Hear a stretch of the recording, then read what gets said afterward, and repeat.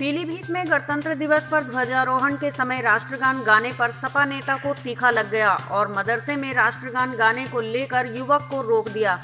मामले का video social media पर काफ़ी चर्चा में वायरल हो रहा है। तस्वीरों को जरा आप गौर से देखिए। थाना पूरनपुर क्षेत्र के मदरसा हाफिया दारुल तिरात का है। यहाँ गणतंत्र दिवस के मौके पर मदरसे में बुलाए गए क्षेत्र के राइस मिल एसोसिएशन के अध्यक्ष ने ध्वजारोहण के बाद जैसे ही राष्ट्रगाना शुरू राष्ट्रगान गाना शुरू किया, मौलाना हाजी लाडले अचानक भड़क उठे और कहा कि राष्ट्रगान नहीं, सारे जहाँ से अच्छा गीत गाइए। ये मौलाना हाजी लाडले समाजवादी नेता हैं।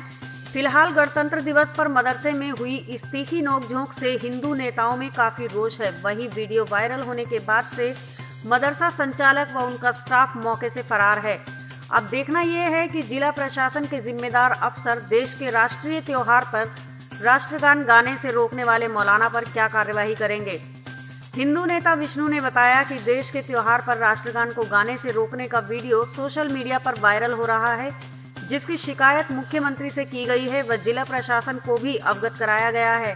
मामले में कार्यवाही कराई जाएगी। क्या नाम है आपका? विष्णु वर्मा। विष्णु वर्मा जी एक वीडियो वायरल हुई राष्ट्रगान को रोका गया क्या पूरा मामला? एक वीडियो जो वायरल हुई है वो मेरे भी संज्ञान में आई हुई है। एक मदरसा हनफिया एक मदरसा है वहाँ पर राष्ट्रीय गीत को रोककर कर दूसरा गीत गाया गया जबकि वहाँ पर कई बुद्धिजीवी लोग खड़े हुए थे।